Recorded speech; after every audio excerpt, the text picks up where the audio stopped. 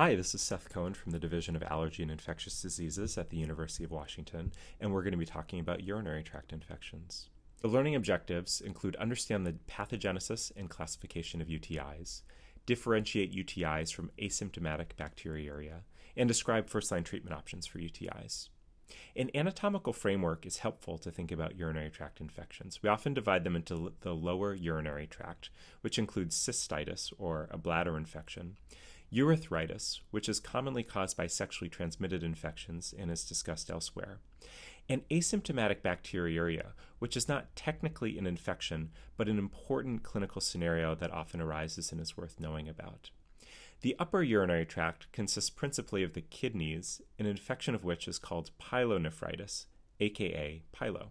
As you may know, UTIs are more common in women.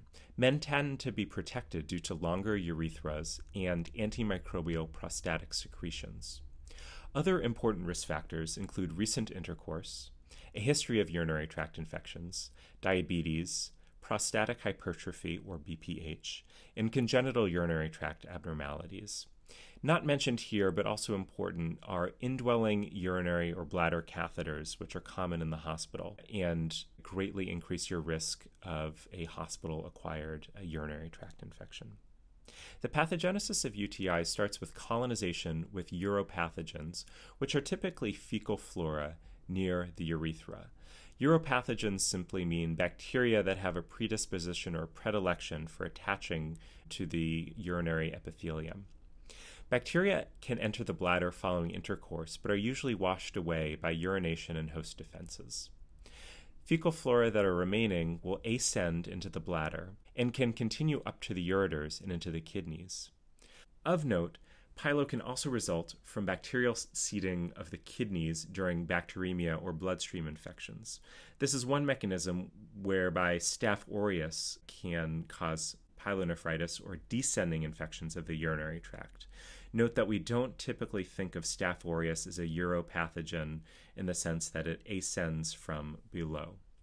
Another framework for thinking about urinary tract infections is whether they're complicated or uncomplicated.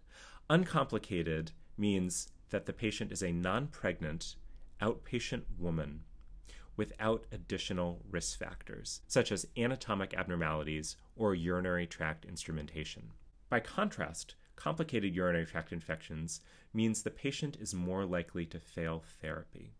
By definition, these include any woman who's pregnant, any man with a urinary tract infection, patients with diabetes, patients whose urinary tracts have undergone instrumentation, such as a urologic procedure or transplant, anatomic abnormalities, and immunosuppression. The microbiology of uncomplicated UTIs typically includes enteric gram negative rods, the vast majority of which are E. coli. Others include Proteus and Klebsiella, in addition to other enterics. Of note, Staphylococcus saprophyticus is a gram positive that can affect healthy young women. In contrast, Staph aureus is not considered a uropathogen, as mentioned previously, but can cause urinary tract infections in the setting of instrumentation or genitourinary procedures. Isolation of Staph aureus in the urine should make you wonder about hematogenous seeding of the genitourinary tract. Other organisms are unusual outside of catheter associated UTIs, instrumentation, and immunosuppression. Clinical manifestations of cystitis include urinary frequency, dysuria, hematuria, and suprapubic pain. Pyelonephritis can include those symptoms in addition to having fever, costovertebral angle tenderness, vomiting, flank pain, and delirium. The costovertebral angle is pictured at the right. And on exam, you can elicit CVA tenderness by tapping your fist in that area uh, to uh, elicit tenderness on exam. The diagnosis consists of laboratory criteria plus clinical symptoms.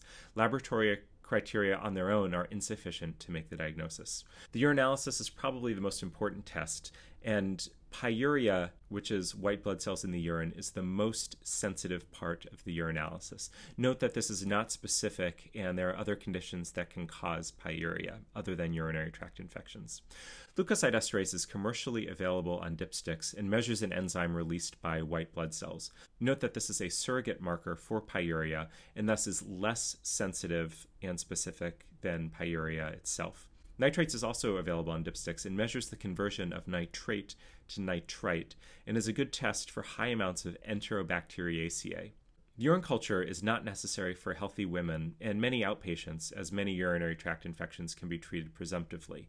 However, cultures are indicated if clinical characteristics are atypical, if there's a complicated infection, if you suspect unusual resistance patterns, or if there's treatment failure. Please note that the specificity of all of the above is highly uh, subject to the degree of contamination, and that skin flora can cause false positive urine cultures as well as pyuria, positive leukocyte esterase, and nitrites. Asymptomatic bacteriuria is defined as a positive urine culture in the absence of symptoms. This just means that patients have bacteria swimming in their urine and it may not be causing infection. It's common in hospitalized patients, as well as those with indwelling urinary catheters. Transient bacteriuria is also not uncommon among healthy women. Please note that asymptomatic bacteriuria is treated only under specific circumstances. These include pregnancy and prior to any urologic procedure with a high bleeding risk. There are three first line antibiotics for the treatment of uncomplicated urinary tract infections. The first is nitrofurantoin, also known as macrobid. This is an excellent first line drug for lower urinary tract infections. Unfortunately, this is contraindicated uh, for a GFR uh, less than 60 or patients with chronic kidney disease. Trimethoprim sulfamethoxazole, also known as Septra or Bactrim, is also an excellent first line antibiotic. Side effects include rash, renal failure, and there's also an association with Stevens Johnson syndrome. Fosfomycin is a less commonly used but first line antibiotic for lower urinary tract infections. Please note that quinolones, particularly ciprofloxacin and levofloxacin, are not first line antibiotics, can be, but can be used as an alternative when first line antibiotics are contraindicated. Quinolones can be used uh, and are an excellent option for outpatient pyelonephritis. Thanks so much for listening.